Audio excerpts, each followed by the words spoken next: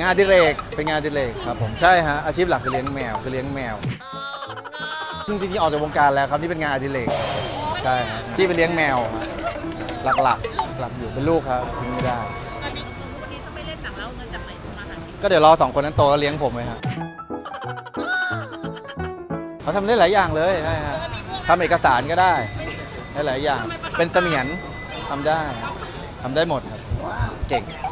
ไงอะโห ที่สุดในโลก ไม่เคยเห็นตัวอะไรแล้วน่ารักขนาดนี้ ถูกต้องไปหมดเลยครับ หน้าตาน่ารัก นิสัยดีอะไรเงี้ยตัวนุ่มตัวหอมอะไรเงี้ยตลกด้วย ผมเป็นคนเป็นคนรักรักจริง ใช่ฮะมาทิ้งทิ้งๆคว้างได้ยังไง